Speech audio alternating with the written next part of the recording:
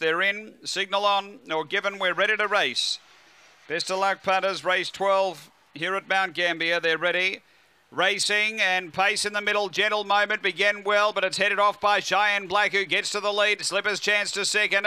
Gentle moment back third. Three away. Peter Benz, then Optic Bray. Next, Golden Star, Cosmic Lacey, and out the back, her Billy. Front runner is Cheyenne Black, out by a length and a half. Slippers Chance and two to Gentle Moment turning. Cheyenne Black clear over a Slippers Chance, and Cheyenne Black beats Slippers Chance. Third home, Gentle Moment. Fourth, Optic Bray, Cosmic Lacey next. Uh, then her Billy Golden Star and Peter Benz back at the end.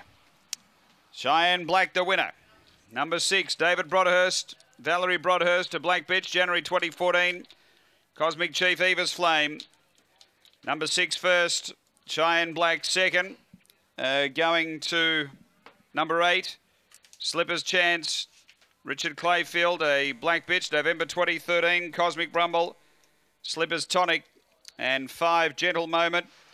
David Fennell, a Black Dog.